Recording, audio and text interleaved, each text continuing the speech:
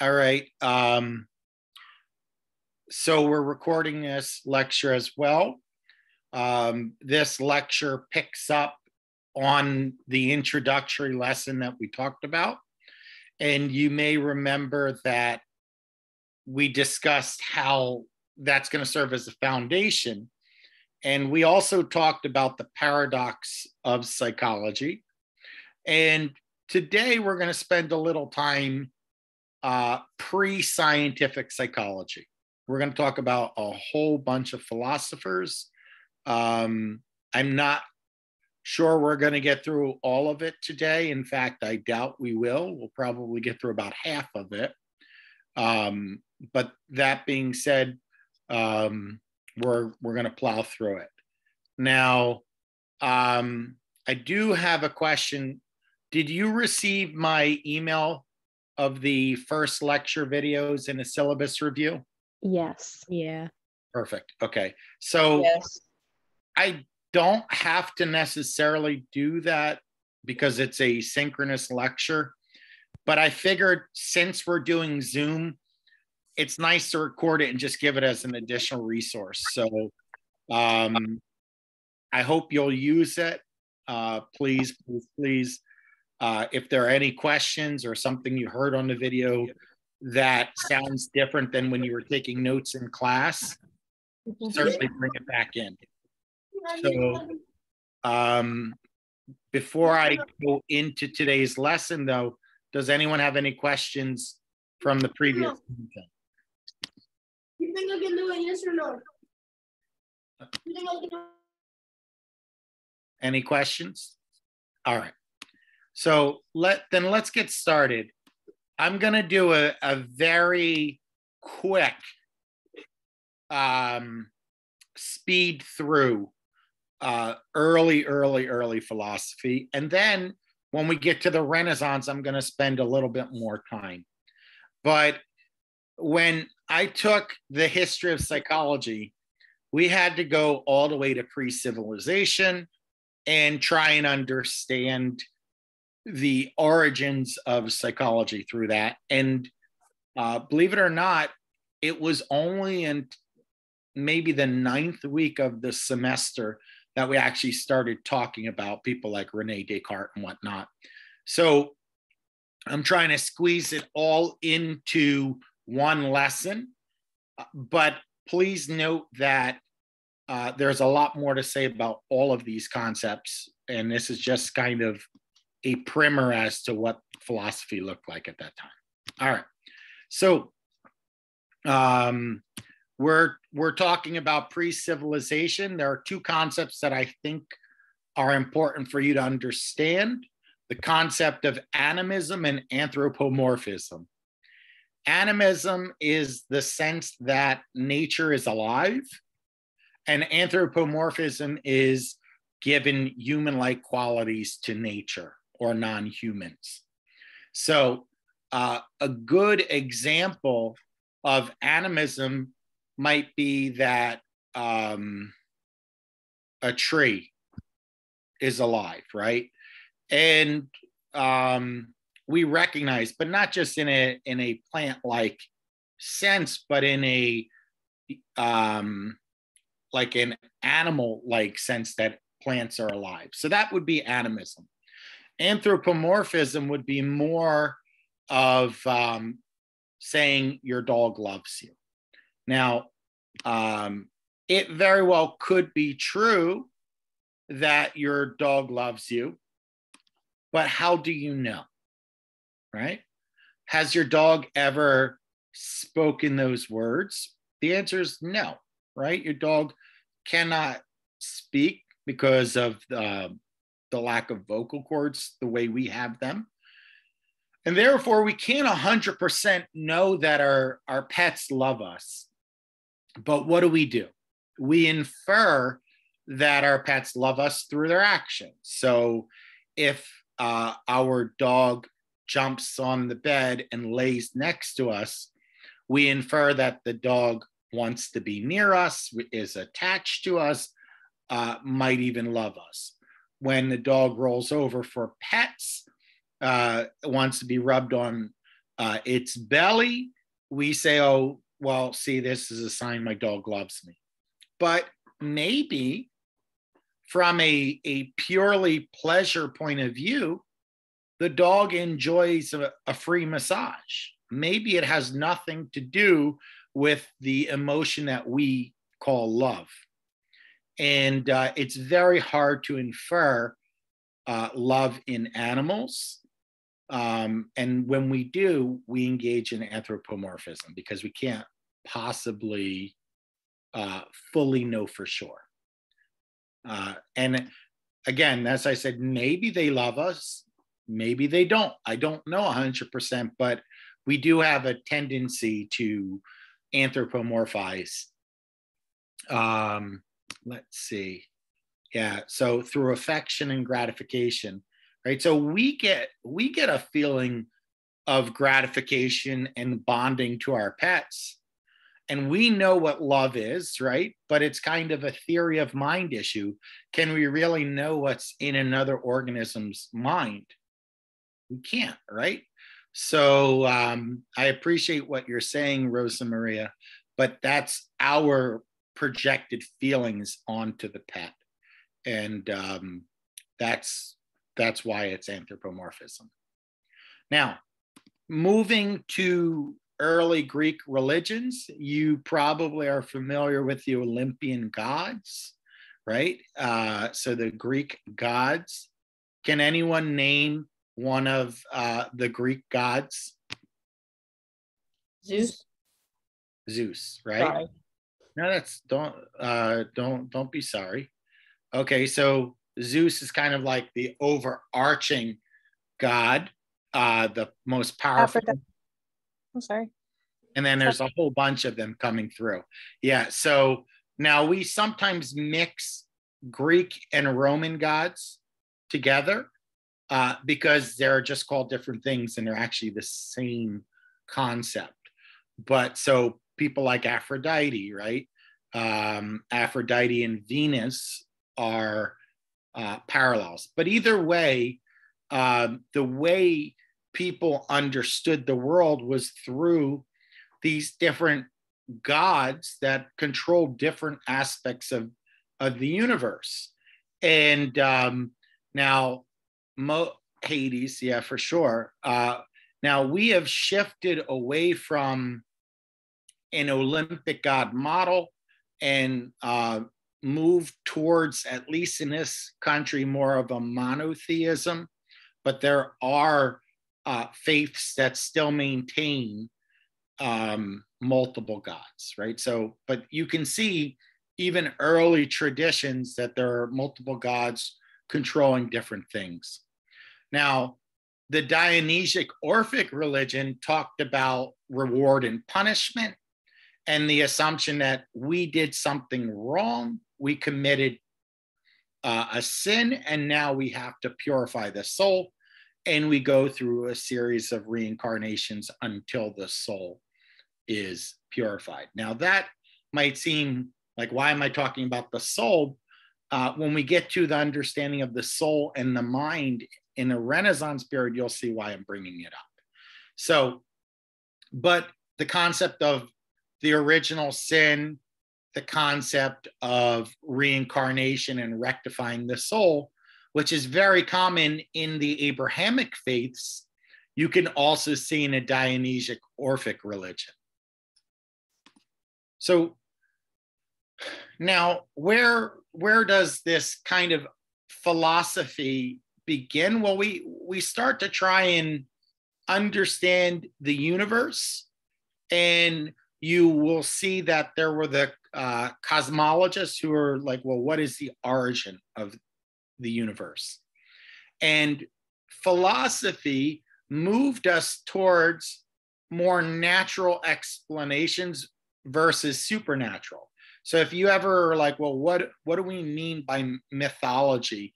Mythology, you know, in a sense that we're describing is about the supernatural explanation, whereas philosophy is trying to find uh, a natural explanation. So, the first attempt was on physis, which was to try and find the primary element that everything was made of. So again, looking in nature to see, well, this is um, what's going on here. So for Thales, water was the primary element. And that, that does seem logical for many people because without water, there is no life, right? And even if we explore other planets, we get excited when we hear that there might be water on that planet because that creates the potential for a discussion of life outside of Earth. Um, so people get excited when they hear waters on other planets. So Thales understood the concept that water uh, was a primary element. Now, Anaximander argued that there's an infinite number of elements. That's not true, of course, right? You know, what we've done the periodic table of elements. So we know all of the um, elements of the universe. So, uh, but Anaximander also starts with our first explanation of evolution. And you may recall in the last discussion, uh, we mentioned Charles Darwin. And Charles Darwin is considered uh, the founding father of uh, the theory of evolution but he's not the originator. And and I tried to make that um, point, you know, hammer it home, because even if we go into Greek philosophy, Anaximander, uh, he actually came up with the first documented theory of evolution, and it, it's it's very very overly simplistic. Water and earth matter rubbed together, and that is what created fish, and then fish you know everything uh, comes from there. Fish create other creatures and then ultimately creates human beings. But evolution was based on um, the mixture of water and earth matter. That's anaximander's idea. So heraclitus focused on fire. You know fire is um, quite a a paradox of an element in its own right because fire can be constructive and fire can be destructive. So, whereas Thales focused on water, uh, Her- Heraclitus focused on fire. And examples of um, fire being constructive, well, w- in the early days, we used to warm ourselves by the fire.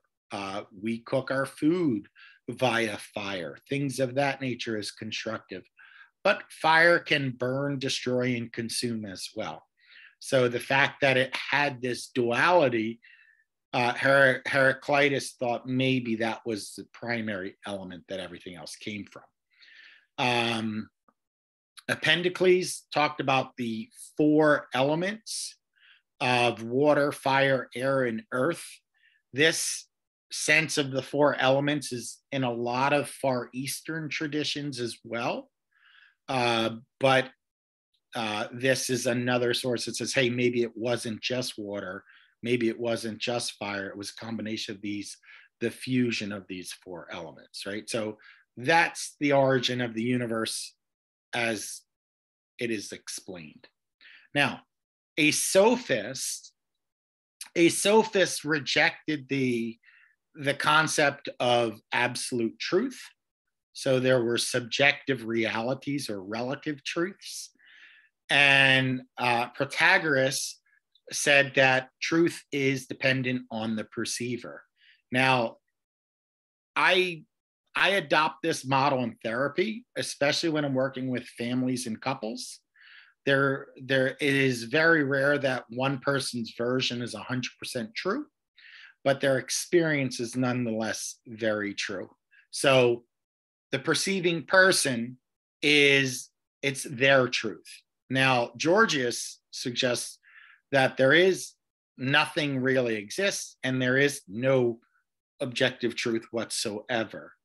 Now, the sophists collectively would say that you know, more important than trying to understand an objective truth is trying to understand the moral, trying to understand the lesson or the message that's being conveyed, that's more important than some objective truth. Now, uh, you've probably heard of uh, Plato.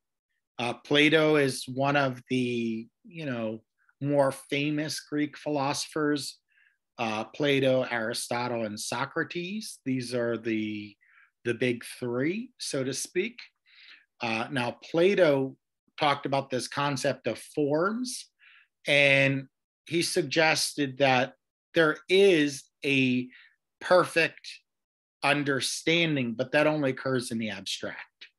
But when we apply these perfect concepts to the real world, they become imperfect applications. So uh, when we when we let's say we were to talk about an equilateral triangle, conceptually, I understand what an equilateral triangle is, right? Three sides with equal angles on all three sides, right? Uh, that makes sense mentally and in, in the abstract. But if you don't give me a ruler or some kind of graphics and you ask me to draw an equilateral triangle, I'm probably not going to draw it perfectly. And that's kind of the sense of what Plato was talking about is that we make inferior copies of things that are objectively true. So we somehow uh, interfere with the abstract perfection. Now, uh, Plato also talked about different levels of the soul. Uh, and this concept is also rooted in um, different uh, traditions, especially the Abrahamic faiths, that there are different levels of the soul, such as the rational soul. The rational soul is kind of the eternal soul, the immortal soul. And then we have the more courageous soul, which is more of the emotion or spirit, so to speak. And then we have the more uh, appetitive soul, which is basic desires. So the physical, the emotional, and the you know immortal, right? Uh, so these are the three levels of the soul. Now you might apply that to the Trinity in Christianity, or um, the discussion in Islamic uh, traditions about nafs versus other levels of the soul, or in the um, in Jewish traditions, we talk about um, the neshama, the ruach, and the nefesh, which have different meanings, different aspects of the soul. So, what Plato was talking about, many other faiths have adopted.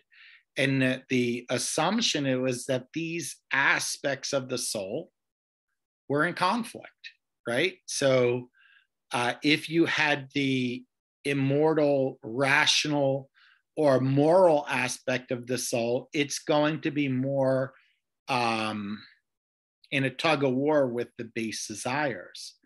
And you know, this concept, I think it's it's not too early to apply Plato's idea to someone like Sigmund Freud, right? Remember Freud's id, ego, and superego? Well, the id would be the appetitive soul, the uh, ego would be the more uh, courageous soul, and then uh, the super ego would be the rational soul, right? So it, these can map on very nicely to uh, philosophy and psychology as a whole. Now, what's important uh, for, at the bottom is that Plato also believed that knowledge was innate. What does that mean? We are born with knowledge. We are born with a an understanding of the world, and you know that can only occur if there's part of the soul that is eternal. So, and it can only occur if that soul is put into a new body. So, the concept of an immortal soul and reincarnation are very much part of Plato's ideas. So, uh, when the soul is put in a new body, uh, it maintains all the past knowledge from previous life forms. Uh, that's Plato. Now, Plato, is, not everyone agrees with Plato. Aristotle, Aristotle uh, says everything in nature has a purpose, and his purpose is built into uh, a person.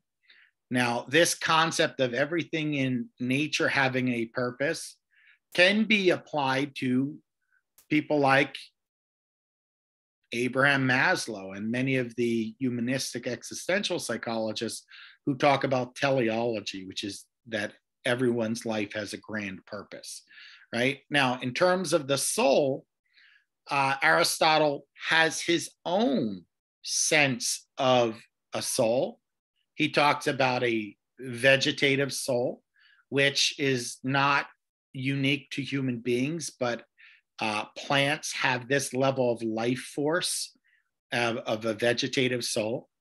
Then you have a sensitive soul, which is the level of non human animals.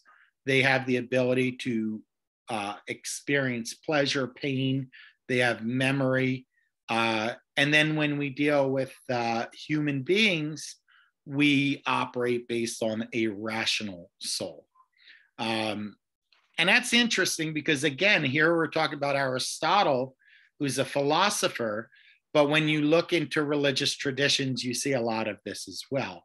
That the, in in um, God's creation, there are different levels of life force, and you you can map it onto Aristotle. Now, um, what I will say is that Aristotle disagreed with the concept of the soul being immortal and disagreed with the concept of reincarnation. And he felt that we are born tabula rasa. We are born a blank slate, and our understanding of the world comes through experience. Now, I intentionally described it very much like another philosopher. Does anyone know who in the Renaissance uses that very language of tabula rasa?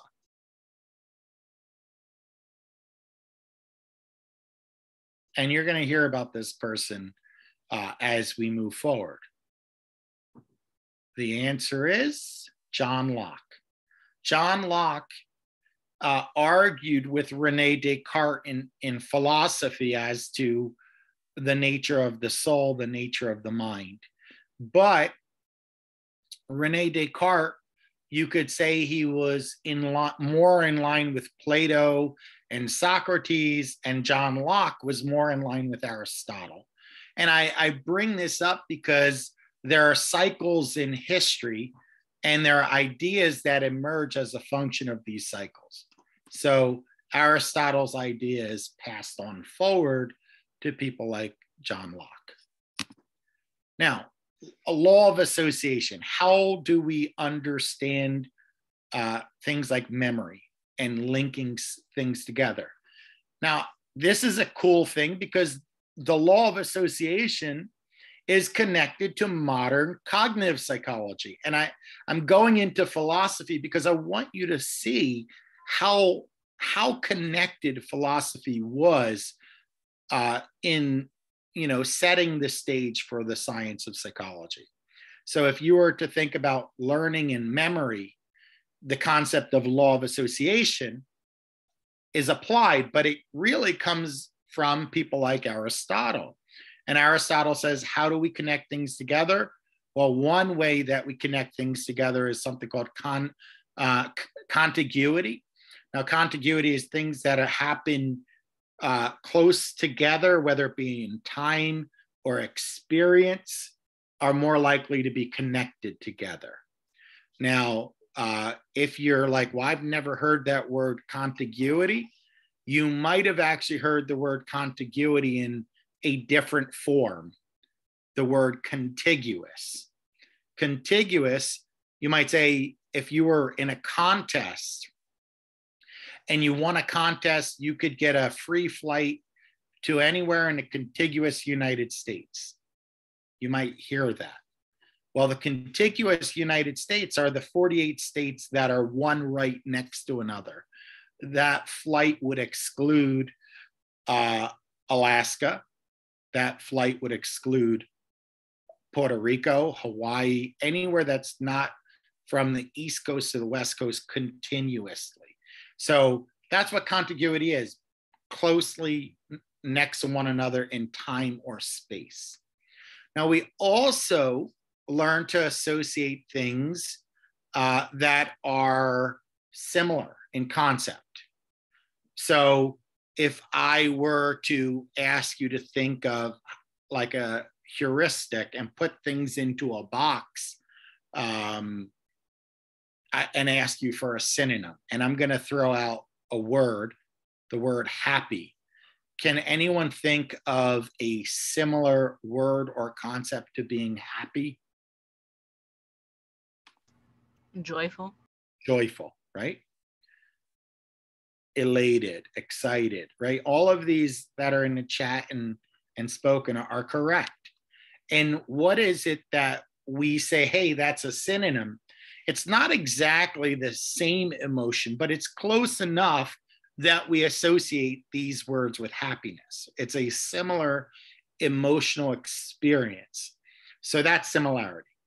Contrast, we are always looking for which one does not belong, right? So the concept of pairing things together for similarity, we also look for uh, opposites. So if something is um, if something is um, one side, it comes to opposite. So let's say hot versus cold, happy versus sad. Most people say sad, but that's a trap question. Happy versus unhappy, right? So it's it's it's a spectrum, but you can see how we contrast them. And then sad sadness might be a more um, extreme version of that emotion. Uh, and then frequency, repeated exposure uh, to content helps us remember content. So these idea, the law of association, it's built into learning and memory. Contiguity, if we think of classical conditioning and operant conditioning, which are behaviorist points of view for how we learn to associate things, it's based on contiguity. If we were to think of the concept of rehearsal and of memory when we're studying, repeating something over and over and over, well, Ebbinghaus said that rehearsal results in greater retention or memory.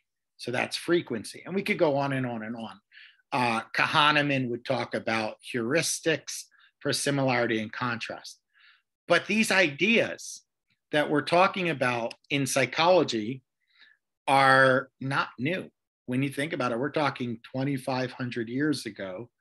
Uh, we're we're mentioning this, and I like to mention other like religious and spiritual traditions because your book unfortunately takes a Eurocentric point of view, and there are many faiths that um, predate Greek philosophy and the ideas were embedded in other religions or traditions that are even earlier than Aristotle. But unfortunately, we don't hear enough about these ideas uh, outside of, uh, you know, a multicultural classroom.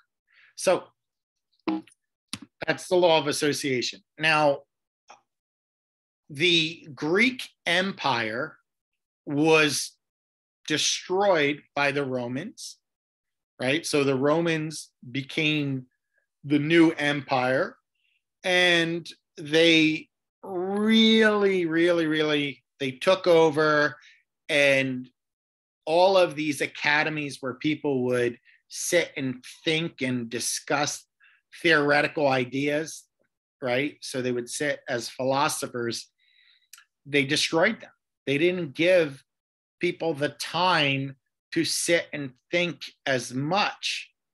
And instead, life became very, very practical. How am I going to feed my family? uh, outside of you know being a philosopher. So people started to uh, shift from the deep introspective thought to more or less how can we make the best life for ourselves and there are different approaches. So these are the common approaches that are discussed uh, as to how people dealt with uh, the romans destroying the greek empire. Well there were skeptics and cynics and most people try and use skepticism and cynicism uh, as synonyms, but they're not. Skepticism is where we suspend belief or we uh, cast doubt in something. But that doubt is not an absolute doubt. It's kind of like, well, I don't know. I need to think about it. Maybe these kind of tentative ideas where cynicism cynicism is kind of a more negative mindset where you're rejecting of so um, i guess from a a point of view the agnostic would probably fit in the in the skeptic camp and the atheist would fit in the cynic camp if we're talking about existence of a God, right? And then there were uh, people who said to try and avoid extreme pleasure because it's followed by pain. That's Epicureanism. We see that in, in some Buddhist traditions as well. And then we have uh, Stoics, which is kind of like radical acceptance of whatever is happening everything happens for a reason and we just got to deal with it right? As is. And these are different mindsets. These were different ways that uh, people coped. Now in rome the roman empire was pretty powerful even before the time of jesus right? So um and Christianity or early Christianity tried to, you know, move the faith away from the Roman gods model. So, uh, from this point of view, eventually Jesus comes on the scene and he um, is said to have been divinely inspired with knowledge and served as a guide for humanity. Uh, and he had a series of followers, right? So his disciples, and um, one of which was Paul. Now, uh, Jesus, according to tradition, never claimed he uh, he was the Messiah, uh, whereas Paul was the first who truly claimed that Jesus was the Messiah and that he was the sacrificial lamb. Um, and you might see another one of his disciples, John, right? John 3:16. And one of the things that Paul and John do, which actually, from a philosophy point of view, kind of eliminates this space for questioning, was creating a purely faith based model. Who's going to get salvation? those who believe in Jesus, those who accept Him. And you have to have complete acceptance in Jesus for that salvation. And so you might say, well, what's wrong with faith? There's nothing wrong with faith. But faith begins where human reasoning ends. And if you cannot ask questions, that's going to stifle, you know, philosophical curiosity ultimately, if we go even further forward in about the year 300, we have Constantine who comes about and is troubled that at 300 years after Jesus, there are all these different forms of Christianity. There are all these different um, books that were uh, considered holy books and there was a debate as to which books should be considered holy and, and divine in origin and which should be uh, not part of that tradition. So uh, Constantine was the person who took all the books and co- uh, codified or codified the New Testament, right? So, uh, and the goal was to have a, you know, an agreed upon text. Now, if you study uh, Orthodox Christians versus uh, Roman Catholicism, uh, you start to see that there are different holy texts that the Orthodox Christian groups tend to adopt that are not part of Constantine's list. So it's it's interesting, right? How how the development of the faith began, but what did it do to Europe? Because Christianity spread very quickly through Europe, but uh, that faith model stopped questioning. And you might have heard the concept of the Dark Ages. The Dark Ages were where the, you know, questioning, the skepticism, the the non-faith-based models were not allowed to coexist. Now, we talk about the Dark Ages, but I will tell you the Dark Ages occurred in Europe, but they did not occur in places like Northern Africa. There were many uh, Arabic scholars that continued to develop philosophical ideas while Christianity was still in Europe was still in these dark ages. There were Jewish scholars that continued to to develop. So it, it was the it was the no questions asked model that kind of stagnated you know, the development of philosophy in Europe. So um, the scholastic movement tries to correct for this. So you might hear people like Thomas Aquinas, right? Albertus Magnus, right? And and these were people who said, wait a minute, I think we've gone too far in asking people to have pure blind faith. And uh, ultimately, the scholastic movement was a movement to blend logic and reasoning with faith based traditions. So, St. Anselm talked about the idea that faith, it's okay to supplement faith with logic and reasoning, right? Uh, Peter Abelard uh, starts to link Aristotle to the Christian doctrines, right?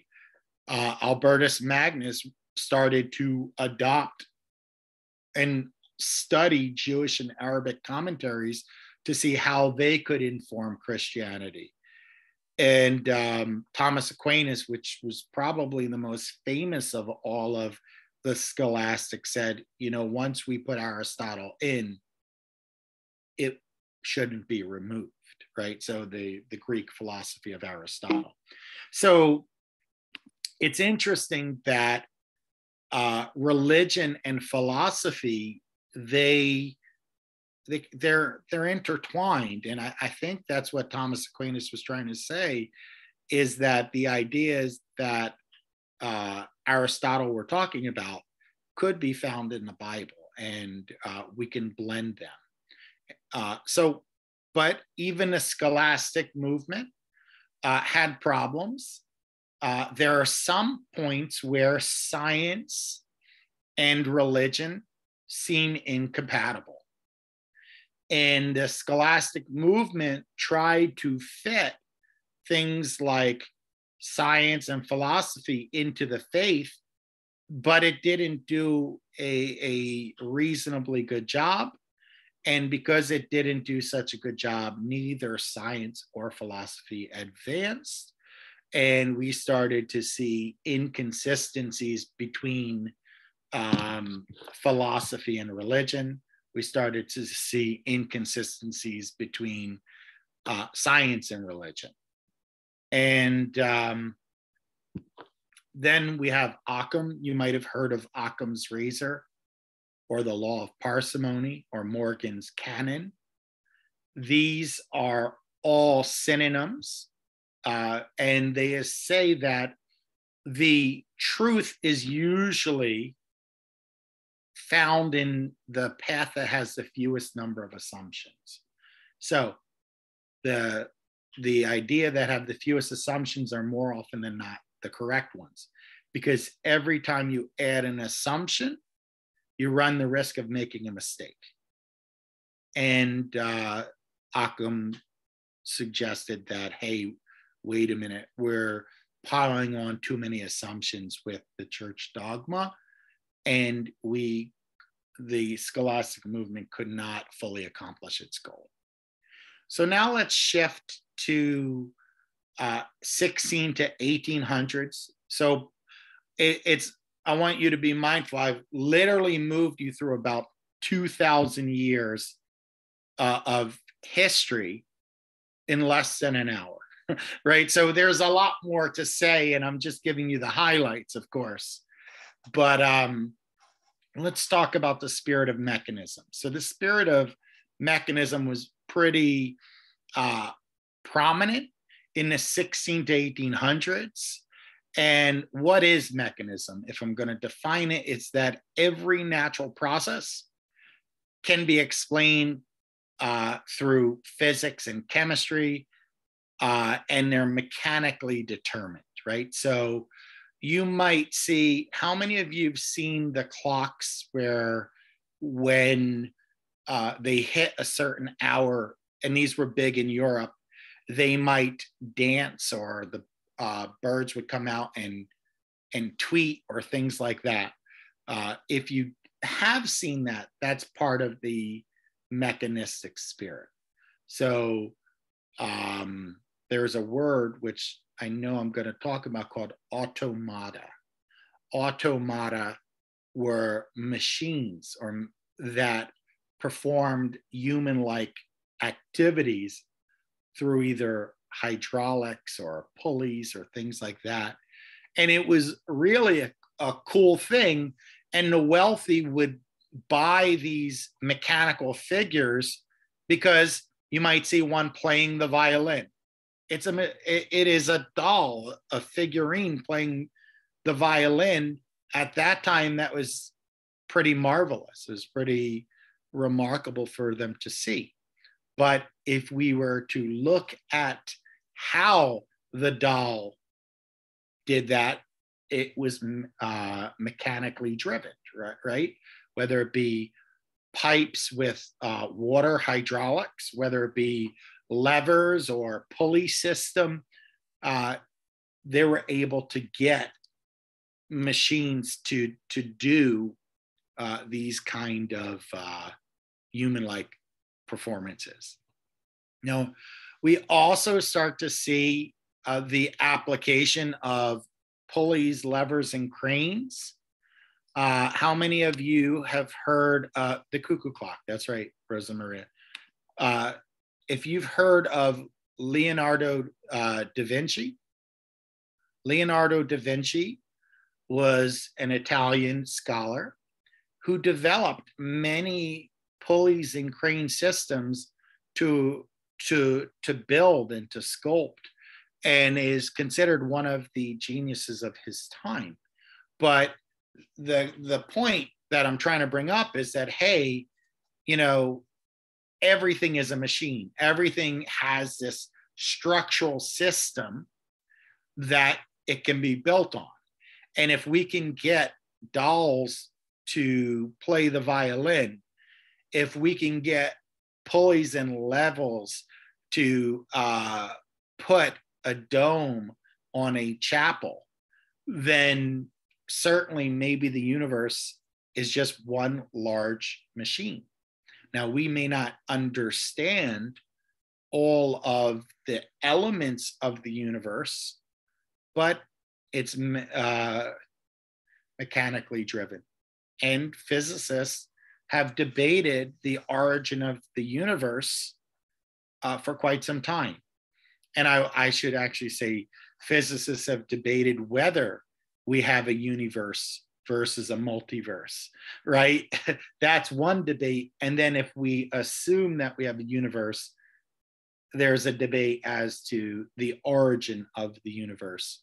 And they do try and apply mechanistic assumptions to try and explain the origin of the universe. Now, machines uh, became pretty widespread. Um, and uh, I know Rosa Maria mentioned the cuckoo clock, right? Clock, the clock was a machine that was found pretty much in most people's houses, regardless of whether you were an aristocrat or not.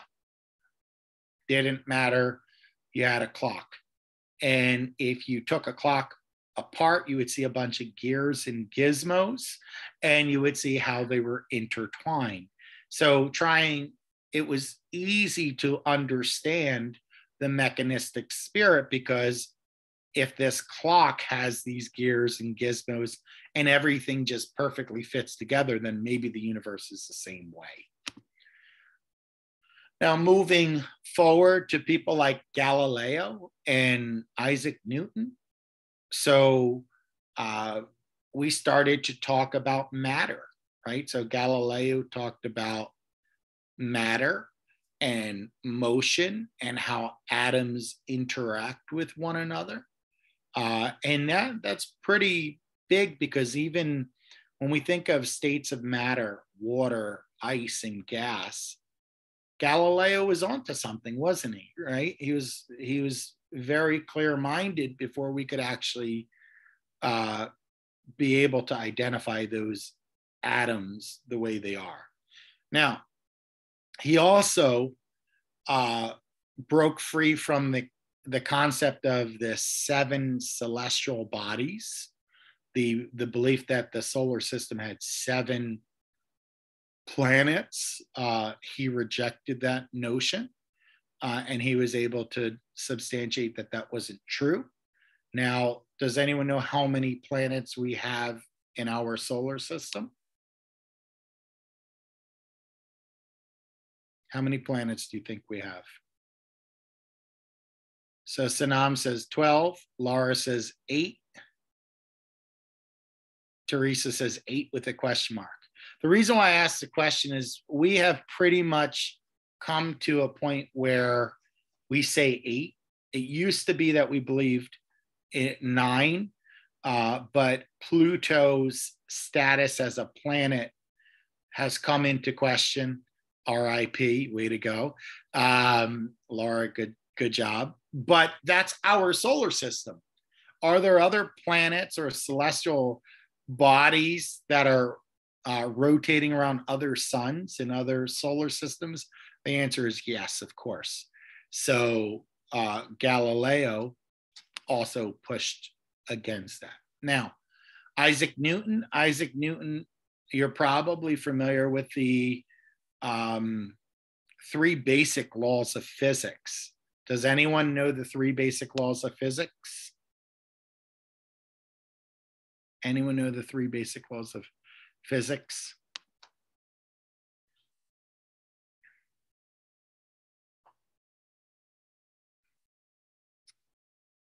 Let's see.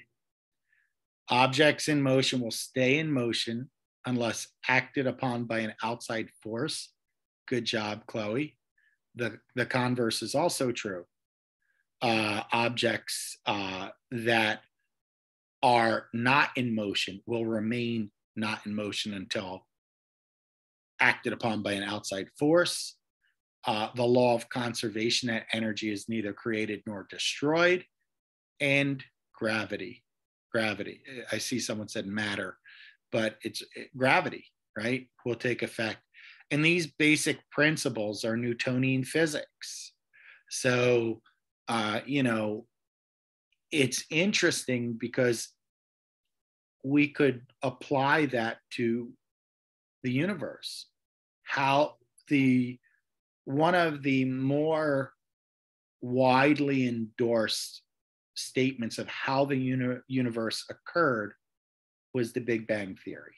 So this is fairly uh, common, but we don't we don't have a good understanding to date as to why the Big Bang even occurred, right? If Newton is correct that things in rest stay in rest unless acted upon by an outside force.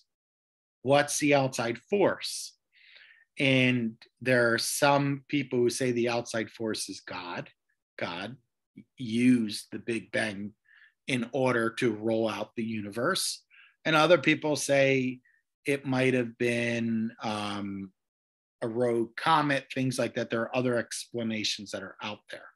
But so understanding how forces either attract or repel atoms, that also comes from uh, Sir Isaac Newton. All right.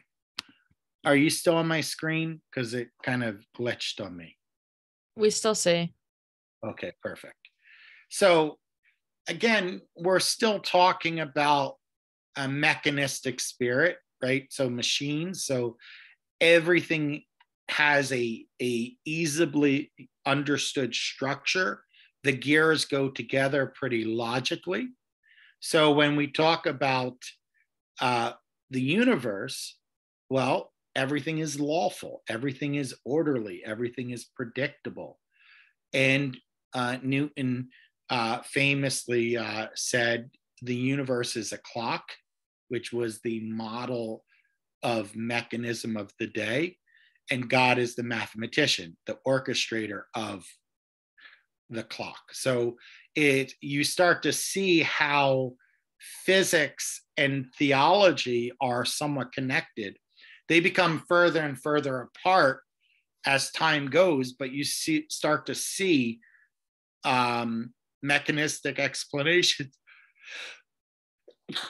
Excuse me, mechanistic observations or explanations of the universe.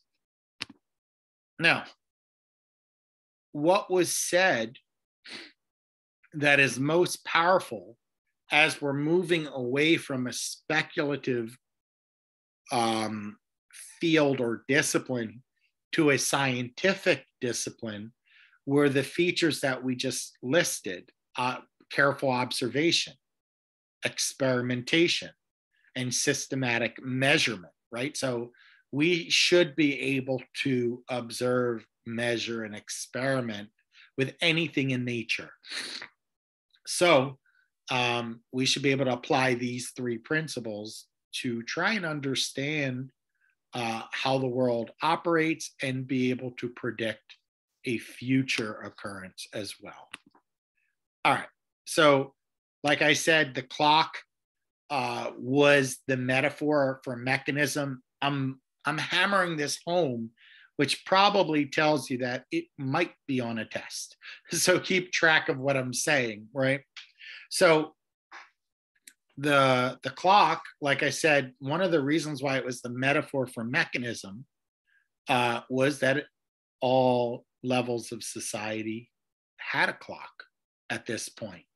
Now, some had the more fancy clock, some had a basic clock, but a clock operated the same way. It was, you know, with a bunch of gears that were interlocking and moved the hands of the clock. And because of the design of the gears, they were able to create a timepiece that was predictable, precise, and and fairly regular. You know, it didn't lose. I shouldn't say it didn't lose time. Sometimes clocks do become a little slow, but if wound properly and designed properly, they should be regular, predictable, and, and precise. And that's the concept of the universe as well. Now, so if we were to uh, think about uh, the clock as a model, we have various quotes that show, like I said, this clock model for the universe. So Robert Boyle, Johanna Kepler, Rene Descartes, you know, you might hear these quotes attributed to them as the harmony and the order of the universe were analogous to the reliability and regularity of the clock. So the natural world has a reliable and predictable way of working. And I'll give you an example. So if Earth is rotating around the sun and, and we have uh, a moon rotating um, around the Earth, well, these two uh, other bodies will help us understand what is a day. And it'll help us understand what is a year, right? Now, um, in all fairness, there is a debate between a lunar year and a solar year, and uh, there's about 11 days difference roughly between the two. Uh, but it doesn't matter. But either way, we can tell time, we can understand what a day is, we can understand what a year is, and so forth. It's predictable, the universe, the same way the gears of a clock are reliable. Uh, Christian von Wolff said the universe was behaves no different than clockwork, right? You might hear the phrase like clockwork. Like clockwork means it's predictable and dependable. And then uh, von Wolff's student said, uh, it is in the clock on a small scale that helps our understanding of the universe on the large scale. So I don't care which quote you take, you're starting to see over and over and over that the clock is the metaphor for the universe due to its reliability, dependability, predictability, consistency, however you want to say. Now let's talk about uh, determinism. So we talked about mechanism as a philosophical point of view.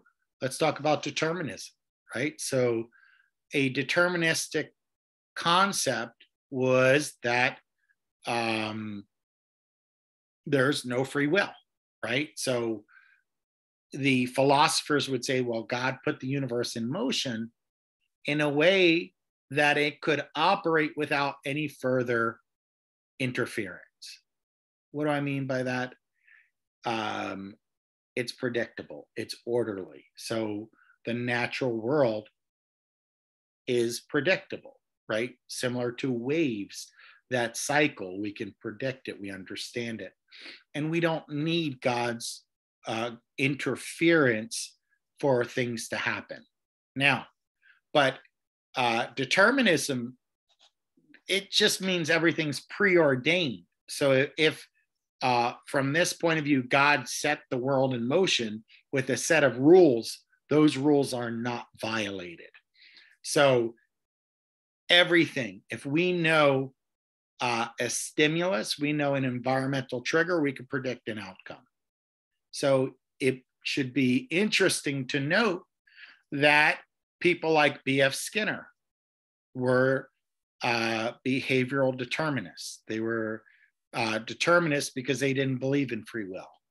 Even people like Sigmund Freud was a determinist. Now, he wasn't uh, based on the, the physical or environmental, he, he had more of what's called a psychical determinism. So the unconscious was predictably pushing our behavior. But either way, determinism says everything is orderly, everything is consistent, there's no deviations from whatever the structure is in place. Now, we have different forms of determinism. We have biological determinism. So, uh, physiological or genetic predispositions can cause behavior or impact behavior. And that's pretty pretty accurate. We we're able to connect genetics to behavior. Uh, and if you're interested in the more complex explanation of biological determinism, I would recommend looking at something like uh, the epigenetic research. We also have the environmental determinism, environmental stimuli cause behavior. This is kind of where our radical behaviorists took the position. And then we have sociocultural determinism uh, that there are explicit and implicit rules in society that uh, we are forced to operate within, and deviations from those social or cultural rules are not welcomed. So we also talk about physical and psychical determinism as a, another way of thinking about this. Physical uh, uh, determinism is that we can study behavior, directly observable behavior. That's physical determinism. Whereas psychical determinism, we're looking at your thoughts and emotions as uh, predictors of behavior. Now, the problem with determinism is that it doesn't 100% explain behavior.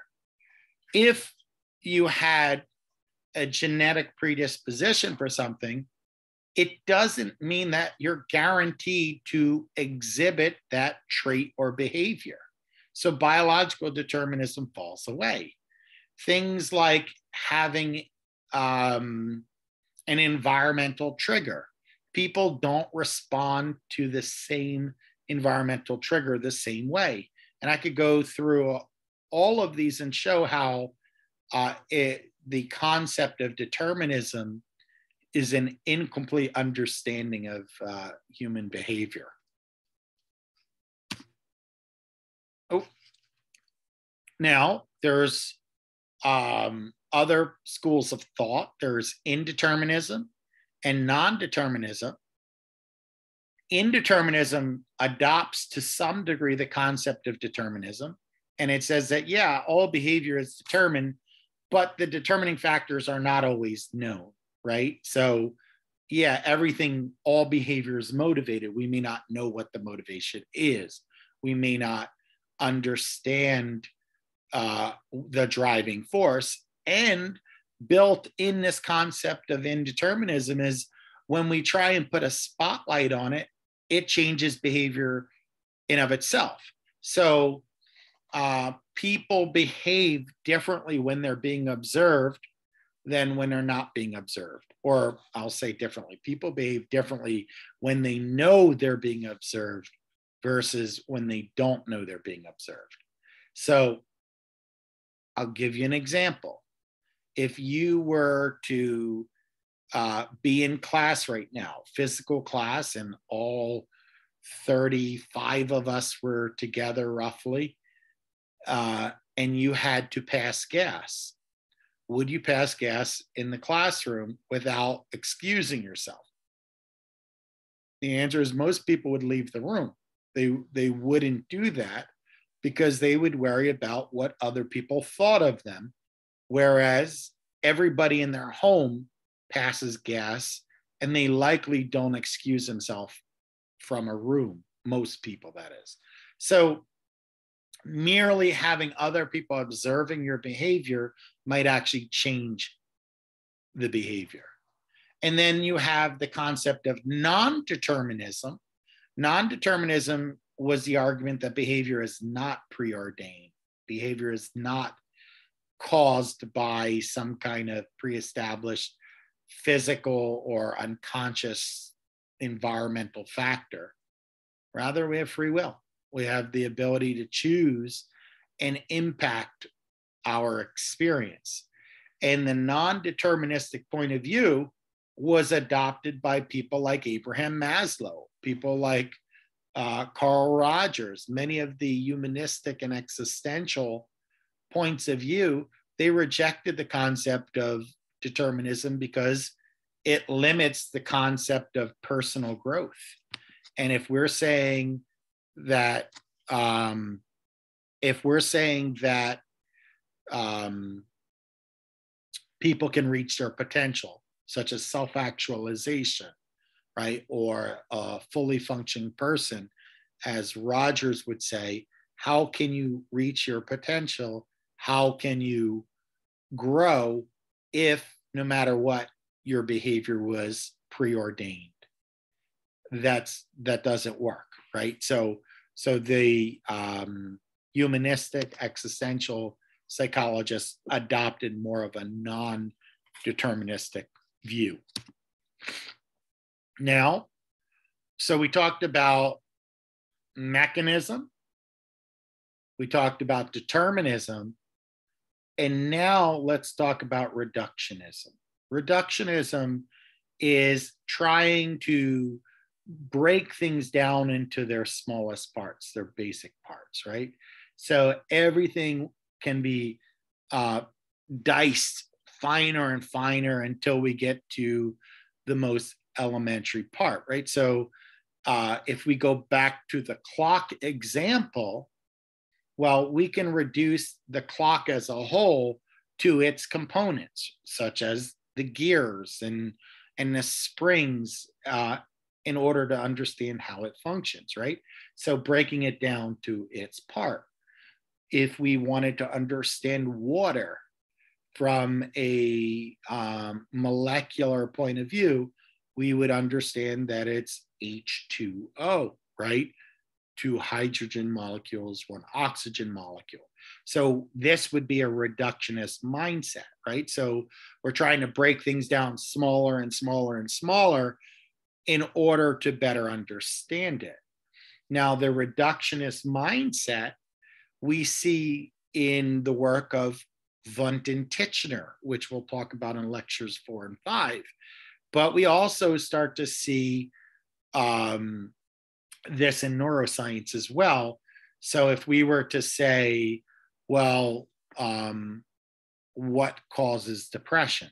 Obviously, there are several dozen answers, but if if you answered the question by saying depression is caused by low levels of serotonin, well, you're trying to explain the experience of depression based on a, a molecule, a, a chemical. And that would be a very reductionist point of view.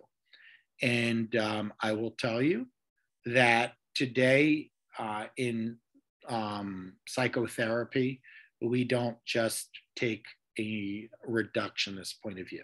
We take biological, psychological, social factors, and even spiritual factors at play to determine uh, predispositions for mental illness.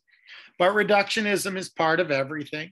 Uh, it's part of every science, whether it be mathematics, when they say reduce reduces fraction, whether it be uh, chemistry, when you go to the periodic table of elements, or whether it be physics, uh, where I'll do uh, more of like uh, an applied physics, such as building a, uh, a roller coaster. The roller coaster as a whole is broken up by a series of angles and, and whatnot. So every every science has some um, reductionism in it. So, and psychology is no different. So, I mentioned to you about these automata, which were these mechanical structures that could do all kinds of cool things. And believe it or not, um, these are older than we're giving credit. So if you go to ancient Greece or um, uh, Far East Asia or, or part of the Arab world, these mechanical structures uh, were pretty commonplace. But because the clock became such a cool gadget. We even put these automata into clocks as well. And if you go to many train stations in Europe, such, such as Germany, Austria, the Netherlands, you can see a whole bunch of clocks with these automata. And um, if we were to apply this model of the, the mechanical model to human beings, we would basically say that the body's a machine that was created by God, right? So in all of our organs, all of our our muscles, everything is part of this structure that was created by God.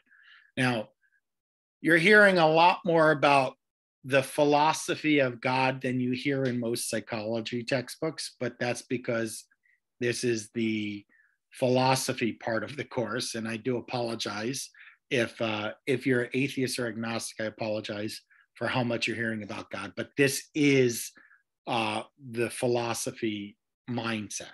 Now, so um, we start to, like I said, the automata become pretty pervasive in the general uh, population, even in books and gardens and uh, clock towers. I said it, it's um, pretty, pretty cool and pretty commonplace to the point where many scientists thought that they might be able to create an artificial person, right? The same way we build um, machines. Now, it's interesting. Do you think the philosophers and scientists were correct? That we might be able to create an artificial person?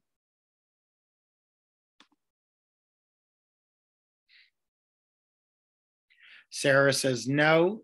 Uh, Jenny says yes. All right. Um, and uh, Victoria says not 100%. So I'm going to go with the first three of you. Jenny, explain why you say yes. Uh, I feel like, you know, you can't really predict the future because, you know, who knows in a way and then like because like you know technology these days has been a bit crazy so because like there is like virtual reality and robots so we never know what will become of technology in the future i'm just like doing, So- it as a possibility You're inspired by things like virtual reality. And I'm going to add the concept of artificial intelligence, right? Because that's also, I guess, the other angle for your argument. Sarah, you say no. Why do you say no? Well, I changed my mind and I said they probably will, but never 100% human. Well, certainly not human if it's a Artificial, yeah. yeah artificial person. Uh, it won't. We wouldn't call it a human. It, we would call it artificial person. Um, uh, Teresa says robots, and then Victoria, you said not a hundred percent. Tell me your logic. Um, I just feel like if they were ever to create something that's close to exactly what a human is, I'm saying it won't be 100% because it would kind of just be coding. It would just be a system that would perform ways that wouldn't have the complexity of like processing emotions to the fullest extent, if that makes sense. It would just kind of replicate and mimic. Now, what I like about our discussion is because this is actually the argument that people had. And there's something called the Turing test, T U R I N G. And Turing was a scientist who basically figured out algorithms. He was responsible during World War II, helping break the code so that we could intercept German messages and whatnot. So he created machines that had algorithms that could think.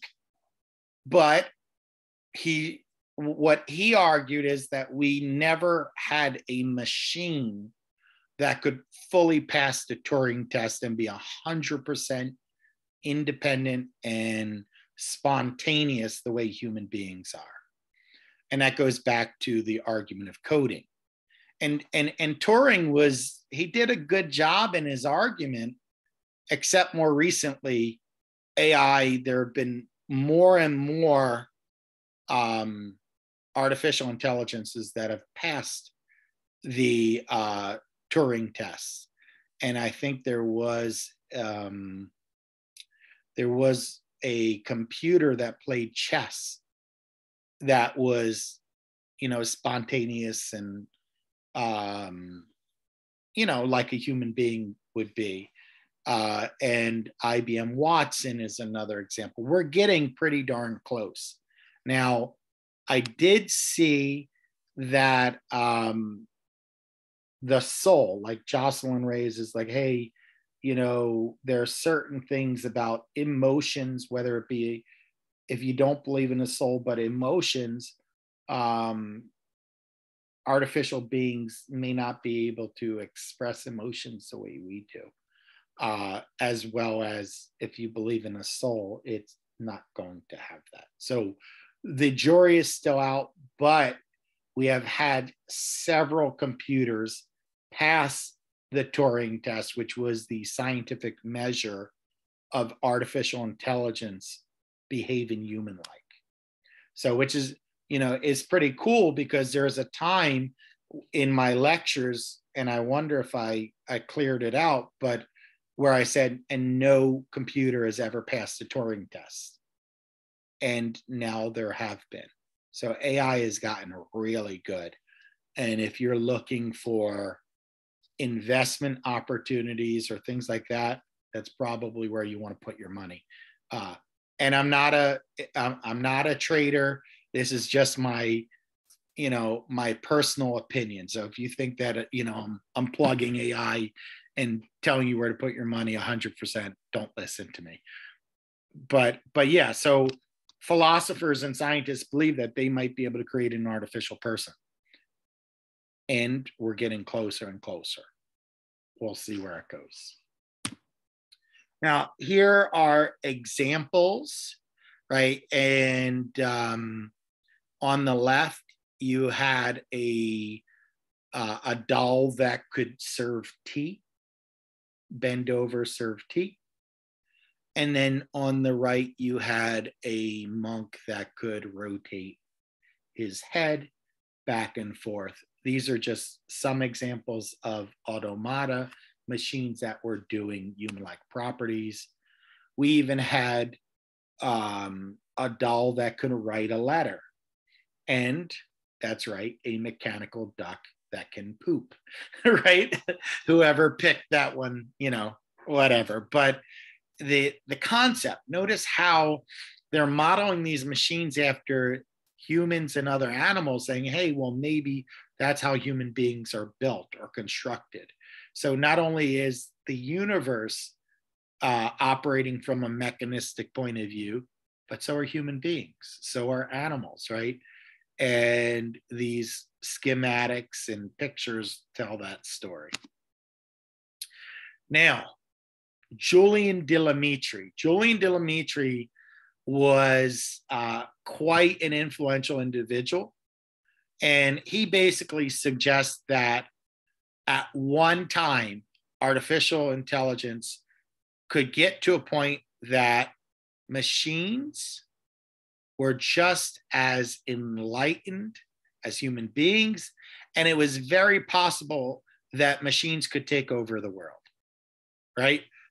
that was his assumption, right? And, and when he wrote Man and Machine, he kind of created the argument that we're just enlightened machines ourselves and um, he really believed that at one point or another, machines would take over. And let's see, they can definitely take our jobs in the future. That is true. They have already started to do so. Every time, and Rosa Marie, I'm going to come to you as well, but every time you go to a self checkout line, that is a job that once was human. Every time you go and use your E-ZPass, that was a job that was once human. Every time you go to the ATM, that was a job that was once human. So, your point about machines starting to take our jobs, Chloe, uh, you're spot on. Now, um, Rosa Maria, you had your hand up as well. Yeah, I was gonna say what you said, and that um, whatever this um man said, it is it is true. Like washing machines, vacuums, blenders, mm-hmm. stoves, all major household appliances, phones, they're taking away everything from us. Before we used to write letters or we used to talk. Now people use cell phones as a way to disengage from other humans or to cope with their problems. Uh, people used to wash their clothes by hand. Now they just put it in a machine and push a button and it washes and dries your clothes. Before we'd wash them by hand and dry them on a clothing line outside. We would sweep our houses. Now we have a vacuum. Now there are vacuums that just do it for you. Just push a button. You could be at work if you have the iRobot vacuum and it'll vacuum and mop your whole house from a totally different location. Ring cameras, like the list goes on and on forever. Right, on. And and that I mean, look.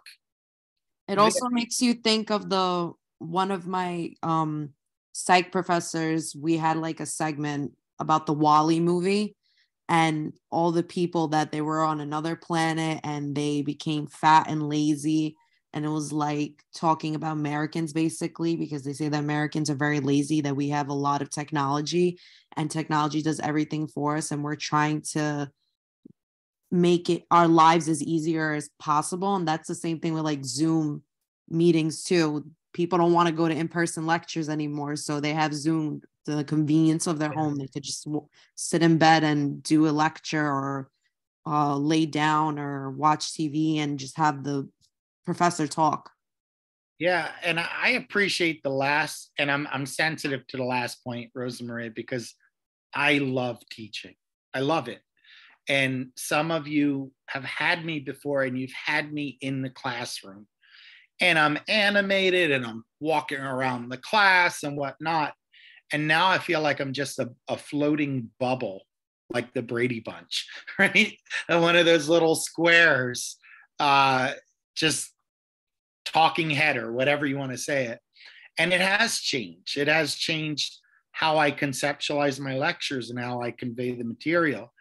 And there are some advantages that I'm able to memorialize what I say and give you a resource if you have to miss a class. That's wonderful. But it also does affect the process of learning. Um, most people do not have their camera on. And I remember in one semester, I put it in my syllabus that everybody had to have their camera on. And nobody did anyway. And you can't force just because I put in my syllabus I, because I want to connect with you, doesn't mean that people are going to do it, right?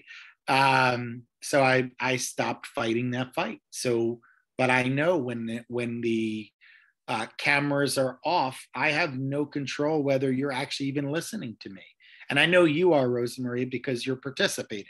But does that mean everybody who's here is actually taking notes while I'm lecturing and whatnot? I don't know. In a classroom, I do. So, yes, there is something lost by yielding uh, that which we used to do as people and in person. Letting machines take over uh, comes with a cost. I 100% agree. Now, uh, this idea of man being a machine, you know, it's it's wrapped into a lot of uh, the books and even uh, things like The Wizard of Oz.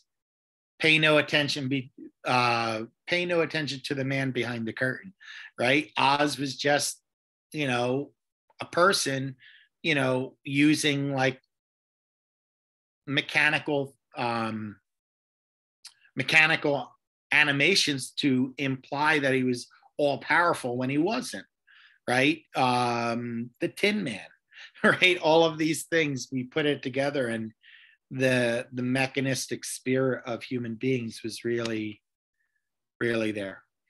Now, Charles Babbage. Charles Babbage loved clocks. Should not shock you. Uh, he was a British mathematician and um, you know he developed the first calculating machine. This is your rudimentary calculator right? So we all have calculators on our phone but it was a, a tabulating machine. Now it's important to understand this is not the first uh, counting apparatus right? Because we had the abacus and things like that. But in terms of a calculator, he had um, him and his student Ada Lovelace had the tabulating machine. Now, um, went to Cambridge University. Cambridge University is one of the Ivy League schools in England and became very frustrated and bored with education because oftentimes he knew more than his professor and you know i'm starting my 18th year of teaching and i have to tell you that i have experienced on at least two occasions where i had a student that was absolutely a genius genius and they got it right away and i was like they probably know more conceptually than i do and it's a it you know knowing that I tried to do more enriching activities and try and draw them in because you could lose interest if you feel like you know more than your professor.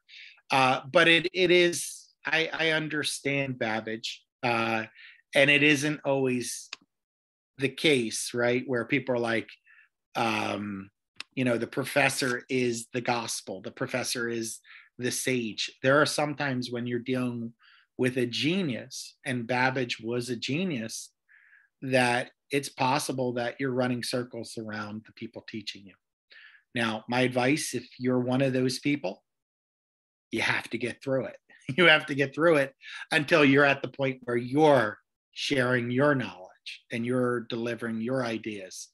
Um, and even if you're less interested because of that, don't let that interfere with your career because there are a lot of there are a lot of homeless geniuses. I hate to say it that way, but there are people who just lost interest because they didn't connect to uh, the world around them because nobody got them or what it, or they were bored with what other people had to say.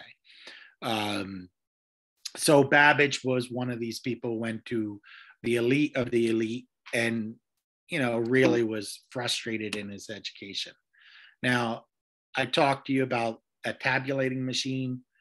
It's a primitive calculator. Now, what's interesting about this, if you look at this, this looks, it's a machine, it's mechanistic. This was a massive, massive structure. And when we think of our calculators, the, this cell phone has a calculator. Uh, and it operates with more processing power than that machine that might fill up um, a big corner of a room, right? So, but if you had to do things by hand or use one of these uh, tabulating machines, you would definitely want to have uh, this kind of uh, tabulating machine. And other things, it did have some algorithms that it could do basic math, play chess, checkers, things like that. And what Babbage and Ada Lovelace were able to do with this is to demonstrate that uh, the cognitive process that we use for mathematics and things like that, the mental processes, we could duplicate using machines. And that was pretty powerful.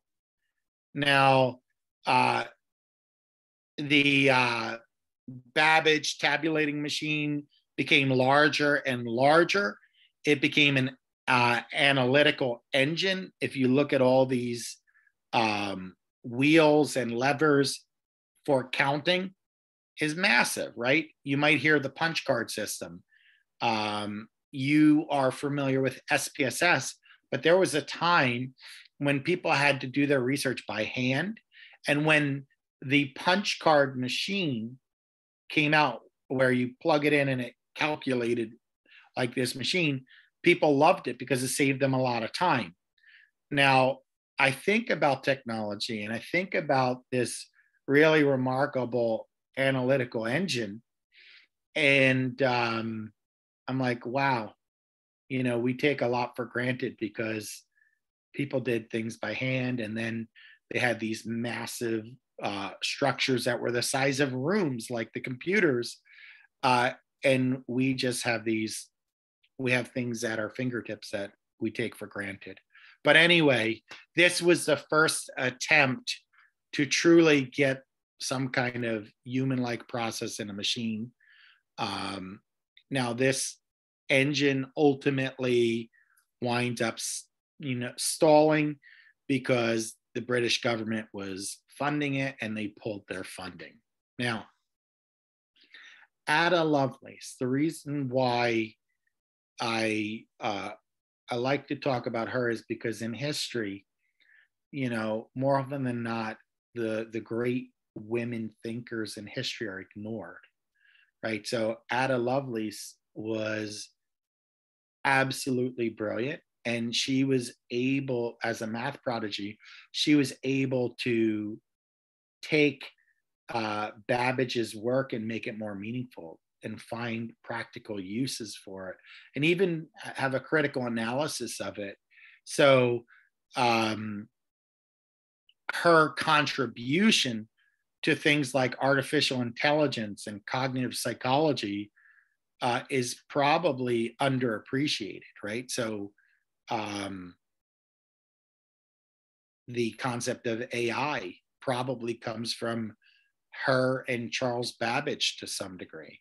The concept of the um, computer model of the mind, right? A neural network and encoding, storage, and retrieval for memory.